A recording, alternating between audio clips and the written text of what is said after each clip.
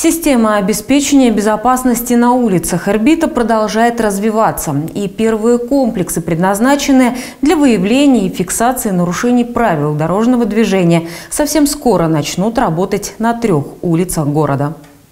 Три комплекса видеонаблюдения до конца года начнут работу на улицах Ирбита, ведущих на выезд из города. Эти камеры будут следить за соблюдением водителями скоростного режима, а также фиксировать и ряд других нарушений правил дорожного движения. А кроме того, с их помощью можно будет отследить все машины, проехавшие мимо. Один комплекс это у нас уже установлен на Советской 106 в районе заправки «Навигатор».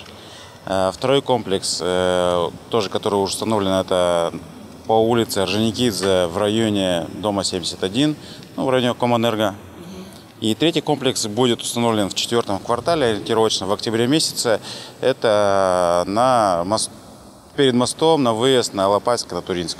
То есть ну, адрес его будет Кирова 2. Отношение ирбичан к такому нововведению неоднозначное. Но сотрудники полиции точно знают, что камеры видеонаблюдения – важная часть системы безопасности. Водители, которые нарушают скоростной режим, и на сегодняшний день я считаю, что стационарная камера – это самый эффективный способ для того, чтобы этот режим был ими соблюден.